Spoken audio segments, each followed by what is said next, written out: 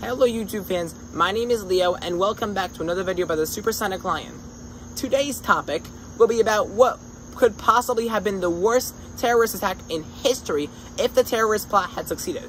But before I continue, I really want to encourage you to both hit that subscribe button and leave a like and a comment, all of which is going to show you guys and other people that my channel has cool information. But anyways, let's get into today's topic. So I am sure that all of you have at least heard of the 9-11 attacks, or September 11th attacks of 2001, which were funded and masterminded by Osama bin Laden, a Saudi Arabian man who was the head of Islamic terrorist organization Al-Qaeda.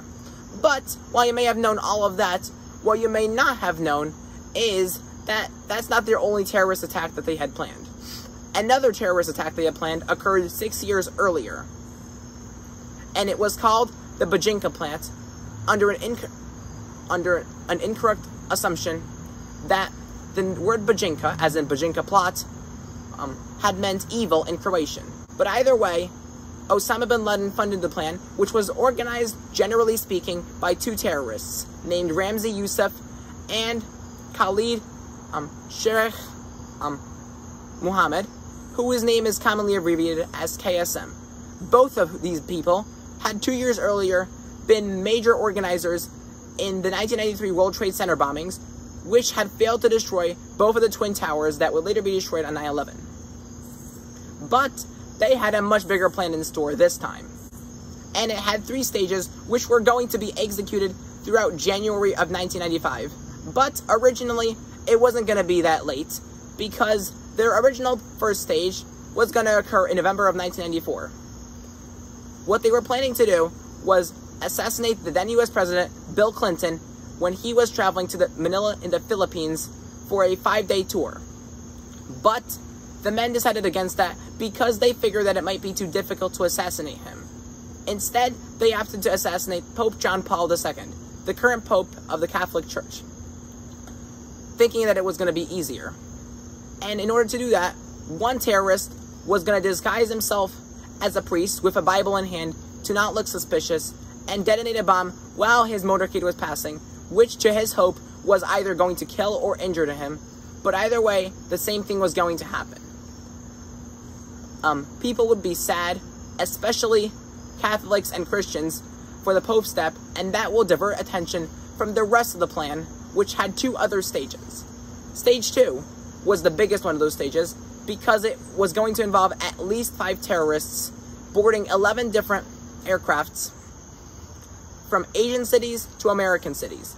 Some of the Asian cities that they were going to be traveling to had included Manila, Singapore, Hong Kong, Taiwan, Tokyo, Seoul, and Bangkok.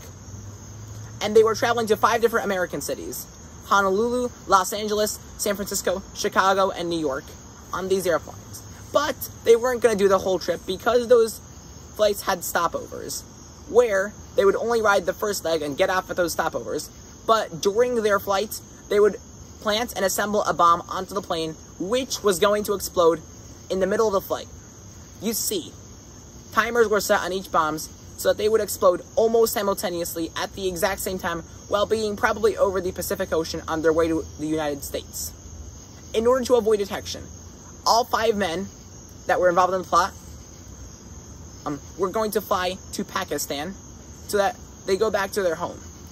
Another one of the men involved in the plot that was going to be using one of their terrorists was a guy named Abdul Hakim Marud, and he was the main conspirator of the third and final stage of the plot, which was going to be hijacking a plane to crash into the CIA quarters, which are headquarters, which are located in Langley, Virginia.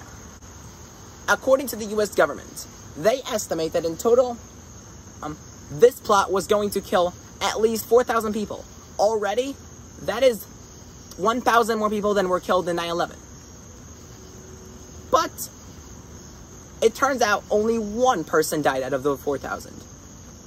And that happened on December 11th, 1994, when Youssef was working on a test bomb to see if it worked for his plan. He boarded Philippine Airlines Flight 434